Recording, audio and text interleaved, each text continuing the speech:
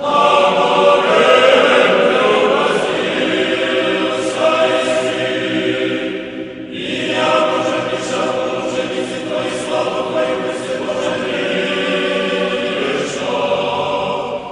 Сегодня совершалась э, литургия необычная, она у нас праздничная, в честь праздника Преображения Господня.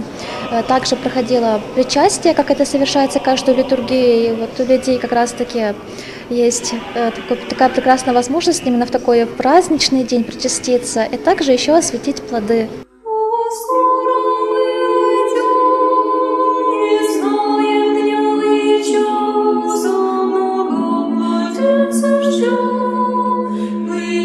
Как вот, например, помидор, он сос- созрел, и приш- принесли его, вот, осветили.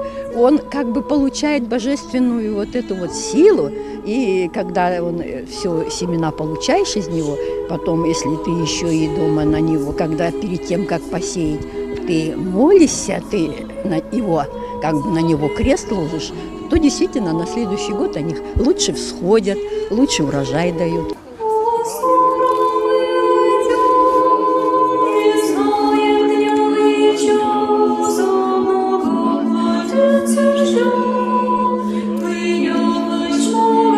Посмотрите, что делает Господь. Был дождь вчера, позавчера, сегодня солнце. Красиво, счастье.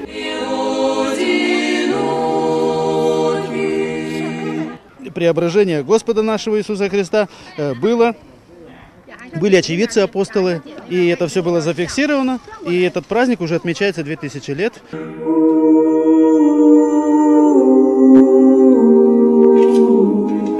Слава Богу, в нашем государстве возрождаются те традиции, которые были с очень давних времен. И с каждым годом наши храмы, храмы нашей области, России посещают все больше и больше людей с приношениями, с благодарениями Богу за то, что Он дает нам обильный урожай и так иногда балует нас и милует.